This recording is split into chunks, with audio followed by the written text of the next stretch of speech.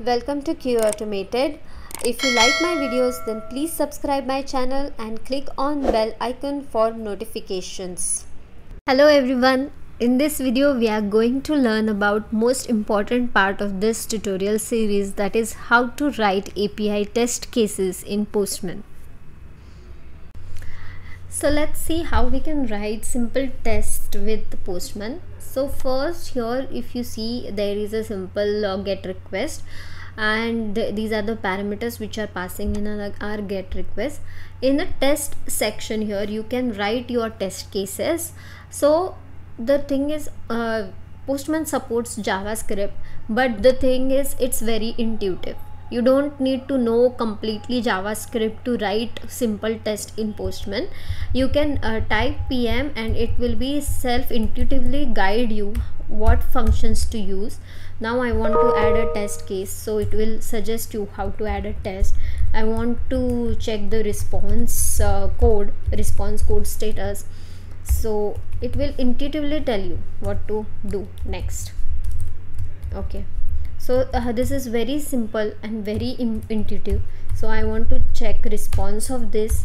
Response should have status as 200 right?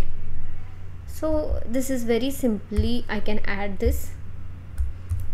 And similarly you can also practice and add this. You don't need to learn javascript completely before adding your test cases in postman. No need of that sort of thing so here is a simple test where it is checking the status is 200 or not. Here is the message response message which you want to show when the test passed. So you can uh, specify here status is as expected. Okay and uh, this is another test where it is checking status it is checking it's okay if the response is json format or not. Let's run this and check what happens. Okay once you run the uh, API it will you can see the API response and in the test result section you will see the test. Passed script failed you can track it accordingly from here also we just executed two tests okay? And test pass it has showing message same like I typed with the mistake. And yeah. Uh, so this is this. Now let us see some more examples okay uh, so here um, uh, we are trying to you know fail this test and see how we are getting a response. So pm dot response is one function where you can see get the response. And apart from that pm expected is also a function which you can use to uh, share your response in a different format okay so now what is happening? Here we are expecting the response is 201 but we know we are getting 200 in return. So both the cases it will fail but you need to focus on the response type how the response is uh, i mean response of a test case is shown uh, with what message and what format the response of the test cases is test result is shown here. Because pm response is different function and pm expect is a different functions which we are using here apart from that we are adding one more uh, test case here. Uh, that is we want to add our own custom message okay? We, we are making it fail. Even if the response is okay we are making it false. And uh, we are adding our own response.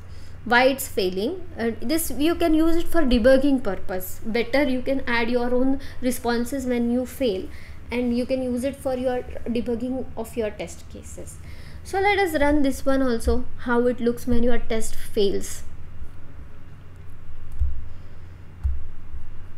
Okay see you can see here it's failed. Failed section also all also you can check.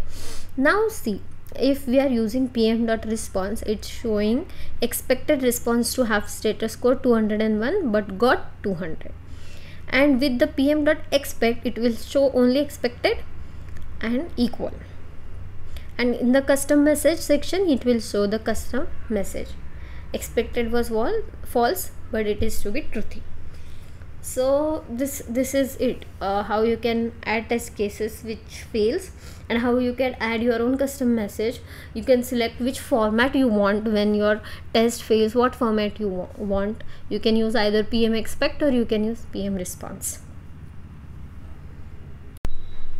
now let's see some more types of tests uh, which we can write. So what is performance test? Performance test is where we want to check the response time of a particular api to be in uh, our selected range. So in this case i want the response time to be less than 200 milliseconds. So i have added this test and let's see.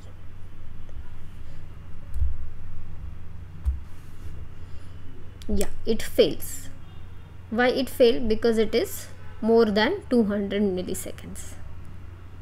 Say expected was this expected to be this below 200 milliseconds but we got 2000 something. So if you change this your expected result to 3000 milliseconds and check here it will pass right? So you can add this kind of test cases.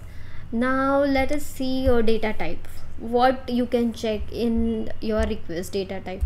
Uh, the risk request header to be have content type. If the content type is uh, missing in the header then it will fail. Then check if the response content type is json or not. That you can check. So let's execute this and run so I, I will be sharing this uh, workspace for you to try out different types of tests which will be help you a lot when you are testing your own APIs and you can use this uh, different test for your APIs and try that out. So look at your so content type is present and content type is JSON so let us uh, check from our end also if this is true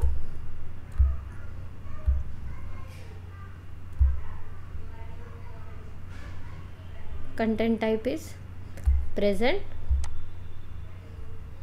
and response. Let us see response con ah, response content type is json.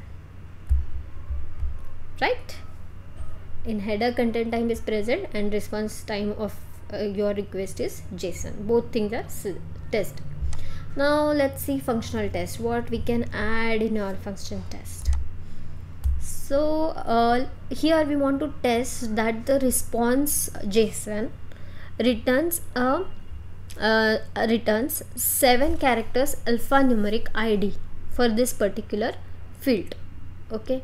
And then for this field second hash field it returns 15 character alphanumeric id okay? From json form we need to verify these things are correct or not so we are matching it with the alphanumeric characters. We specified here length to be 7 here we specified length to be 50 so in this way you can add your functional response uh, functional testing also. If you want to match to exact value like it should return abc or it should return some exact value that part also we can add here. Let us see that uh, example as well. So here sum hash value is this second hash value is this. So this is 7 cache and this is 15 cache alphanumeric. And this is passing. So both the tests are passing. Here functional test 2 here what it is testing? It is testing uh, delete delete uh, API it's 200 okay and it is expecting that object response body should be an object uh, response should be a parsable json and response should be 200 after delete. Okay then next we will see json schema validation. So in schema we have key value uh, right? And we want to have some kind of validations on what values it is returning and those values are correct or not so we can add that particular things. Also uh, in our test cases we can also check security checks that SQ, with SQL injection that it, it is it it is there any API is returning any password or not. So this kind of simple uh, also we can add. We can also add a complex test where we are uh, we are writing a variable we are saving a variable okay? And then we are checking that the variables are matching every time we are getting the response. We are getting the same response or not. That also we can do. So in this case uh, see this is a api for getting the current price. Okay? And bitcoin rate. Okay?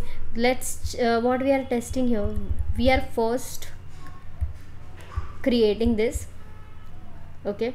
We are then setting environment variable with value bitcoin rate okay?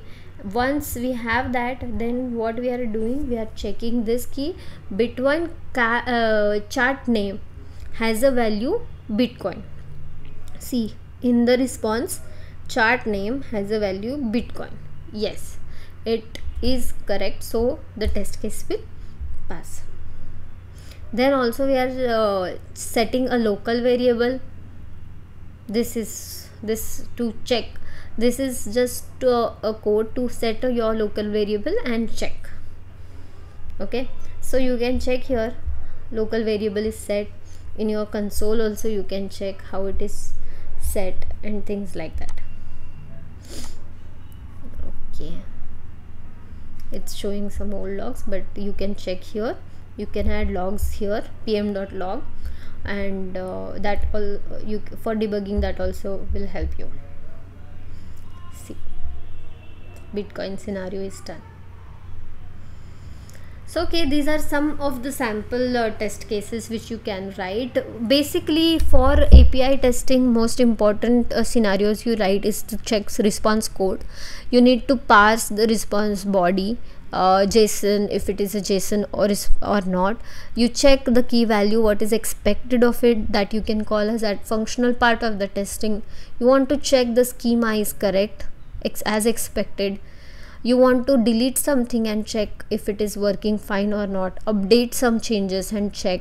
You want to get the data and check the list list of data is retrieved. You can create a list also in the uh, in this section uh, in with the test you can create uh, your list also and check. See here is a here are some test cases of fetching a list. See we can create an array of list save that response to an array. We can create new item and check here. So there are multiple uh, test cases you can add here uh, functional uh, performance test cases also we have seen. We have seen different scenarios also. We can add create flows also. We can save environment variable. We can save it in a collection variable. We can save it in local variables also. And we can write multiple scripts uh, like this. So uh, do practice this on yourself uh, on uh, for yourself also. And let me know if you have any doubts or any questions. Thank you